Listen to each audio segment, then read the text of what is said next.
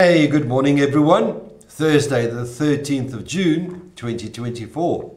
This morning's devotional is a reading from Joshua chapter 9, reading verse 14, and it reads The men of Israel sampled their provisions, but did not inquire of the Lord.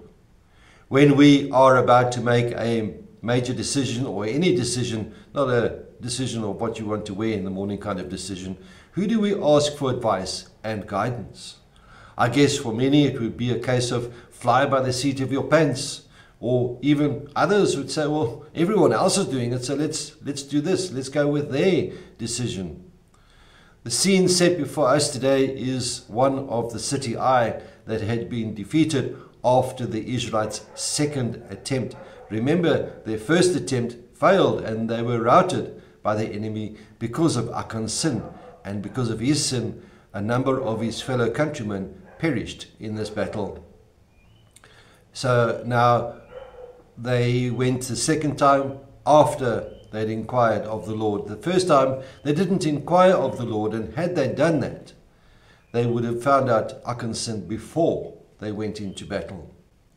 Israel had also received the explicit instruction from God that when they entered the promised land, they were to purge the land of all evil.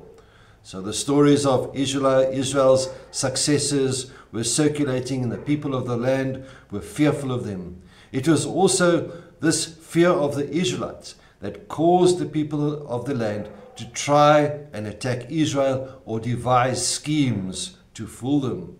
And this is where the Gibeonites come in with their crafty scheme.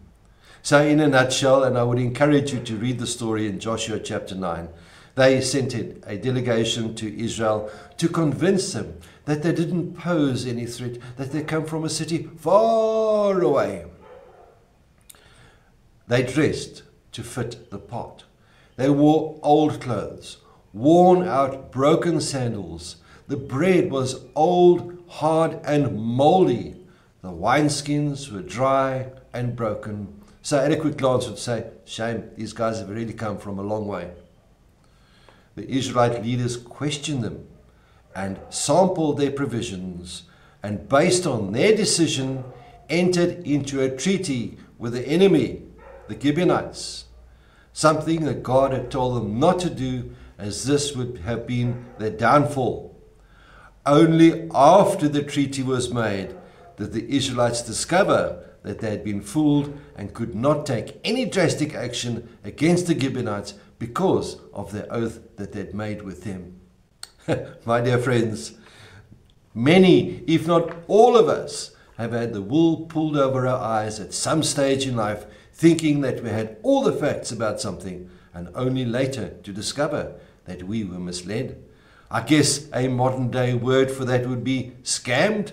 I think that's more appropriate if you ask me. So let us always seek the counsel of God. We're making any decision and let us avoid being scammed at all costs. May the Lord be with you, may bless you, may cause his face to shine upon you and be with you always. Goodbye.